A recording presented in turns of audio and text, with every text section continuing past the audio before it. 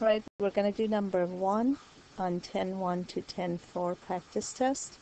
Here they've asked us to find an equation of a circle given the endpoints of one of the diameters.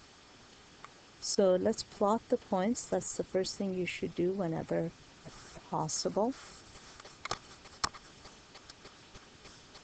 So the points are 5, negative 3, and negative 3, 7.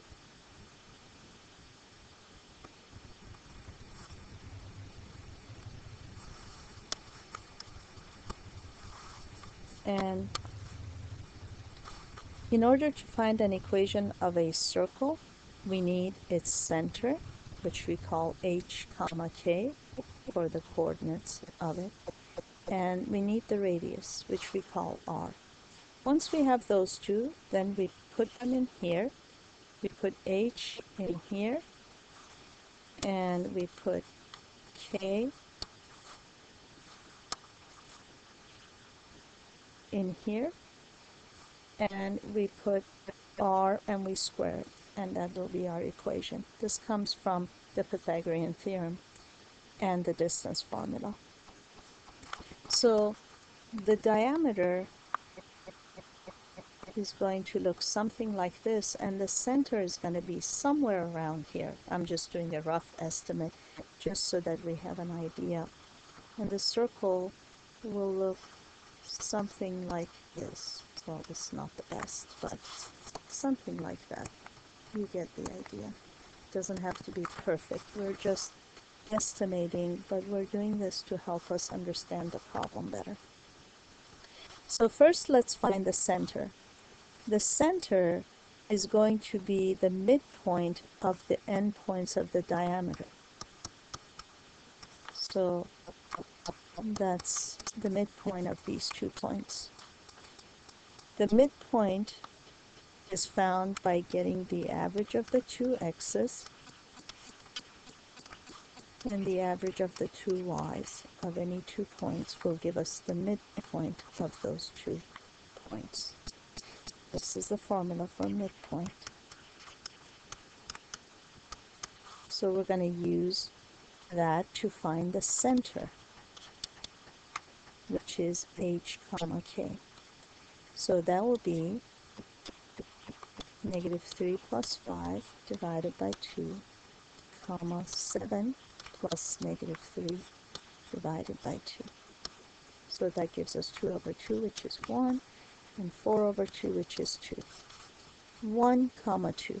So I did a pretty good estimate when I thought that that would be the center.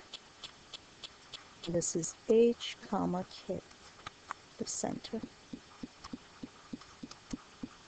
So now all we need is to find the radius and we will be able to plug it into the formula for the equation of a circle and we'll be good to go.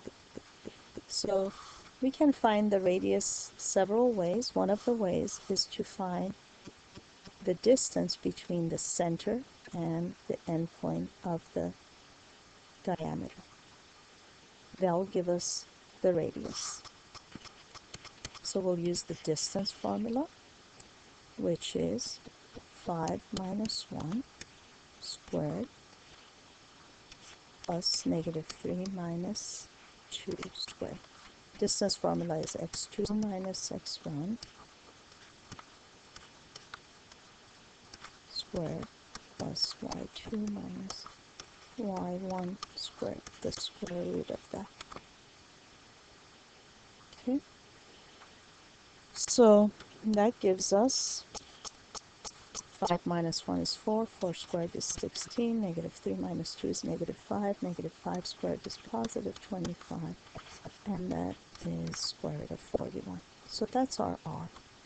So the equation of the circle is, we're going to use this, so x minus h, this is our h, that's 1, that's the x part of the center plus y minus 2 squared equals square root of 41 squared, which is 41. So that's the answer for equation of a circle. The radius is square root of 41 and the center is 1 comma 2.